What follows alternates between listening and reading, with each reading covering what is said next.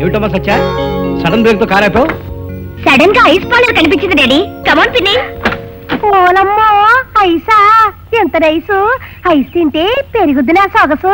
ఆగలేని వచ్చేస్తుందా? ఐశ్రాణి వచ్చేస్తున్నా తుపాకీతో? అబ్బా చీటికి మటికి తుపాకీతో బయలుదేరతావు. ఎందుకని? ఎందుక? ఇంట్లో ఉన్న బంగారం అంతా ఒంటి మీద సింగారించుకు బయలుదేరావుగా? ఎవడు నీ బంగారం మీద చేసినా కాల్చి పారేద్దామని. ఊరినాయనో నీ పేరంతా ఈ బంగారం మీదేనమాట డాడా మూడు స్పెషల్ ఐస్ క్రీమ్స్ కావాలి. అమ్మాయి నాకు ఒకటి చాలదే రెండు ఐస్ క్రీమ్లు కావాలి. నీకు రెండెందుకే డబ్బు దండగా? ఒక దాంతో సరిపెట్టుకో. అబ్బా ఇక్కడికి వచ్చినా నీ పిసిని కొడతాను పోనిచ్చుకున్నావు కాదు. డాడీ ఐస్ క్రీమేగా? తినని. ఫో త్వరగా తీసుకురా. హే, సత్య వచ్చిందే. Hi Satya come here. Hi Jyoti daddy one minute. Hi. కథ నవ్వుతూ కూసో.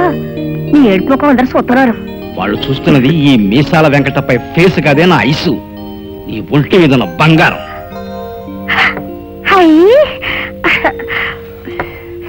బేరర్ అమ్మాయి అక్కడ ఉంది అది అక్కడ తీసుకెళ్ళు. Okay sir. నువ్వు నువ్వు? మేడం. ఇందులో ఏక పడింది కళ్ళు కనపడలేదు తప్పు చేసిన వాడిని చెప్పదెబ్బ కొట్టి వందెవడో నాకు అలవాటు. ఇదిగో వంద. ఇదిగో రెండు వందలు.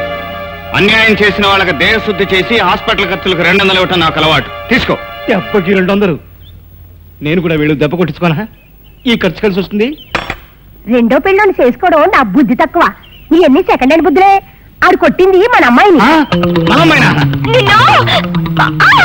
కూతురు లేకపోతే ఈ తుపాకీతో తూట్లు తూట్లు చేస్తాను. ఏమిటి?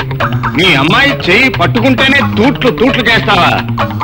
భుజం మీద ఇలా చేయవేసి మరి ఇలా పట్టుకుంటే ఏం చేస్తావు? ఏం చేస్తానా? ఏం చేస్తానా? అమ్మాయి ఇతను ఊరించుకుని పారిపో.